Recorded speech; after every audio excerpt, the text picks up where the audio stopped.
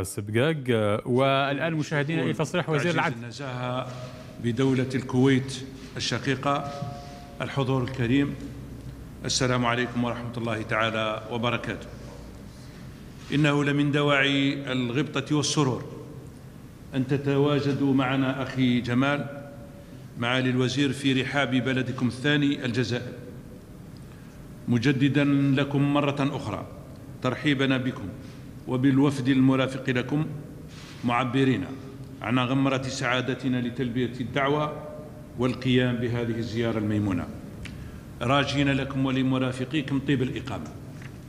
وبهذه المناسبة السعيدة أغتنم فرصة هذا اللقاء للتأكيد على عمق العلاقات التي تجمع بين بلدينا الشقيقين القائمة على أسس ثابتة نواتها الأخوة والتضامن والاحترام المتبادل بين شعبينا الشقيقين وهي المبادئ التي تمهد الطريق لإقامة تعاون مثمر ودائم بينهما وتجسيد ما تصبو إليه السلطات العليا لبلدينا.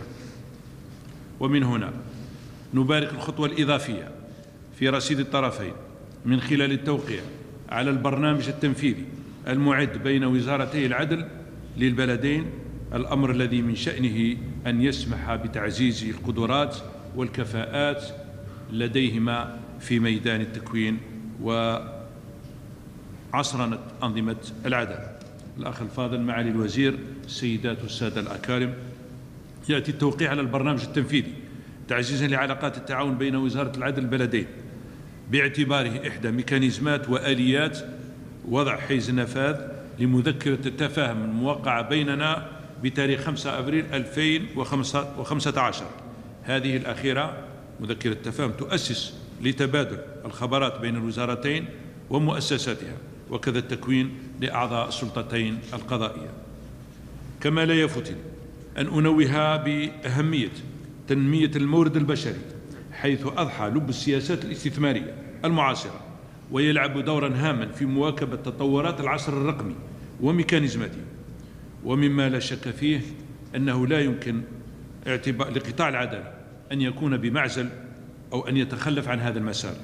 ومن هذا المنطلق خصص البرنامج التنفيذي الذي أمضيناه اليوم حيزا هاما للتكوين وتدريب القضاة بما يسمح للطرفين من تبادل الخبرات والتجارب بشأن المناهج الدراسية والتدريبية للمعاهد والمدارس التي تعنى بتكوين القضاة لدى الطرفين وبرامجها التكوينية وكذا إيجاد آلية مشتركة تصبو إلى تطوير هذا المجال. وبذلك فإن التعاون بيننا بموجب البرنامج التنفيذي الموقع اليوم يشكل اللبنة الأساسية التي ستسمح بتوفير الأرضية للمضي قدما للنهوض بقطاع العدالة بما يسمح له بمجابهة مختلف المخاطر مهما كانت طبيعتها. ونشير في هذا الإطار إلى التجربة التي عاشها العالم في ظل جائحة كورونا حيث برزت أهمية التقنيات التكنولوجية لتوفير عديد الخدمات على مستوى قطاع العدالة كأساسيات في العمل القضائي والإداري. هذا المجال شكل هو الآخر محورا أساسيا للتعاون في هذا البرنامج البرنامج لا سيما من خلال تبادل المعلومات حول تطوير وعصرنة نظم جهاز العدالة عصرنة نظم جهاز العدالة والبحث عن سبل التعاون في ذات المجال. يبرز البرنامج كذلك عديد المجالات التي يكون التعاون فيها مهما لا سيما أهمية ترقية التعاون القانوني والقضائي في المجال الجزائي والمدني الكيفيات العملية لترسيخ المبادئ الدستورية وحماية حقوق الإنسان المنبثقة عن الصكوك الدولية وحماية المعطيات ذات الطابع الشخصي لا سيما في التعاون القضائي الدولي وفي الجريمة المنظمة آه، غير عبر الوطنية وغيرها. علاوة على ما ذكرناه سيسمح البرنامج التنفيذي بتعزيز التعاون بين المركز الجزائري للبحوث القانونية والقضائية ونظيره معهد الكويت للدراسات القضائية والقانونية. ومن شأنه كذلك أن يؤسس لوضع اتفاق ثنائي بين المؤسستين وتبادل الدراسات القانونية والقضائية. في الأخير